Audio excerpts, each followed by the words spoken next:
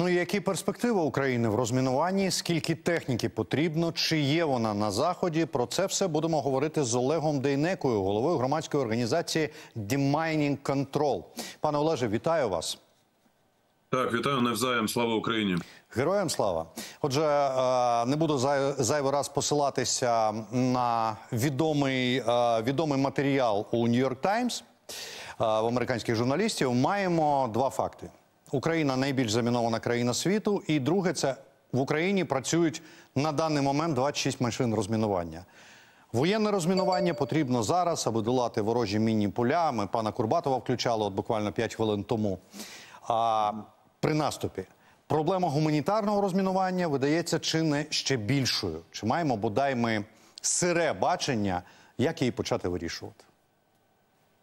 Так, звісно, держава має бачення, і це бачення не одностороннє, дуже багатовекторне, зважаючи на той досвід, який вже є у світі з цього приводу, адже розмінування е, воно не сьогодні з'явилося. Це дуже довга історія е, світових воєн, і я просто нагадаю, що замінування це найнебезпечніша, найсмертельніша е, форма ведення війни, тому що коли летить ракета, то засоби е, протиповітряної оборони принаймні мають шанс щось зробити з нею з цією ракетою. Коли летить куля, звісно, що може бути на захисті бронежилет або інші засоби захисту. Якщо стоїть міна, а тим більше так як вони ставляться зараз, то е, вона може вразити будь-кого, і е, світова статистика, яка має місце, вона говорить про те, що на жаль, але дуже багато по завершенню військових конфліктів.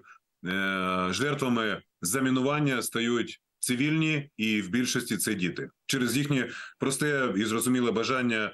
Е, вони всім цікавляться, і тому все, що вони знаходять, має бути взято в руку або якимось чином можна його зачепити, і відповідно дитина від цього страждає найбільше. Але стосовно е, державної програми, то е, ще вам кажу, що е, є досвід, наприклад, Азербайджану. Це мається на увазі конфлікт на гірному Карабасі е, впродовж. Останніх 20 років там відбувалося розмінування і опробовувалися різні технології, починаючи від таких машин, про які казав президент, зокрема машини з розмінування. Це хорватські машини є спеціалізовані для цього, включно до тварин, які використовувалися, і це не тільки собаки, це навіть спеціально виведені щури. В більшості е, в найкращому варіанті вони проявили себе під час розмінування Камбоджі. Там шалена територія замінована, і саме щури е, показали свою найвищу ефективність. Дивовижно. А, Цікавий підхід. А скажіть, будь ласка, от хто готовий допомагати? У нас є з кимось контакт з тим самим, наприклад, Азербайджаном, з можливо, з Балканськими країнами. Е, ну чи чи не стане оце розумієте, є таке побоювання, чи не стане проблема розмінування після нашої перемоги виключно українською проблемою? Ні, не стане однозначно. Чому не стане? Тому що е, я дивився ваш ефір перед включенням і бачив сюжет е, з Лондону е, з конференції по відновленню. То можливо, це не секрет. А я певен, що це не секрет. Це загальнодоступна інформація. Що саме на цій лондонській конференції обговорилося питання розмінування, яке має передувати процесу відновлення, і саме зважаючи на те, що будь-які економічні процеси на звільнених територіях можуть відбуватися лише після того, як ці території буде розміновано. Зважаючи на це, е, зараз уповноваженим органом в системі.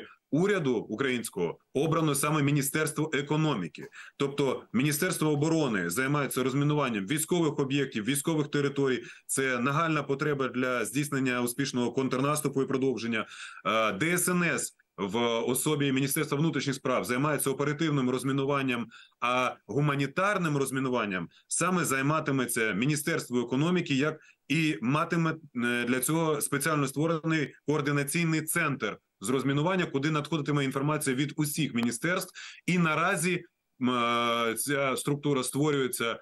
Е, якщо ви знаєте, пан Безкоровайний очолив наглядову раду цієї структури, але керівника цієї структури досі не обрано, і саме це питання було е, якби нагальним або найактуальнішим на лондонській конференції з питань відновлення. Там нагадаю е, було ухвалено. Виділення України сум Україні суми в 411 мільярдів доларів з цього моменту і до завершення 2027 року. Але е, дуже серйозна сума з цих коштів піде на саме перший етап у відновленні, тобто розмінування. І присутній там е, пан Баффет, це син світового мільярдера Уоррена Баффета.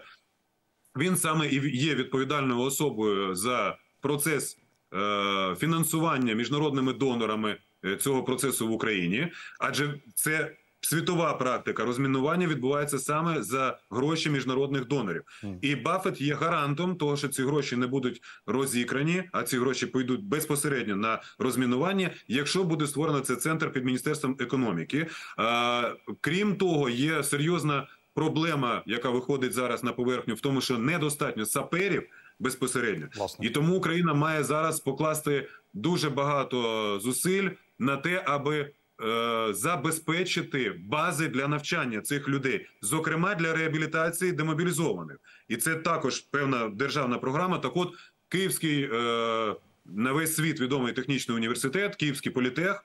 Вже е, заявив про підготовку цієї платформи навчальної платформи. Якщо ви пам'ятаєте, е, в нас прем'єр 11-м прем'єр-міністром України і 9-м міністром оборони, а також 7-м міністром економіки був Юрій Єхануров. Це за президентства Віктора Ющенка. Він є зараз проректором в Київському е, політесі, і саме він зараз очолює цей напрямок. Напрямок формування навчальної бази для саперів, тому що активами ДСНС і Міністерства оборони навчити зараз таку кількість саперів, яка потрібна Україні, просто неможливо. Тому е, КПІ зараз підтягує всю базу навчальну під це, і Єхануров якби цим займається. Доволі серйозно він взявся. Окей, Ми пане його- Олеже, ми зрозуміли.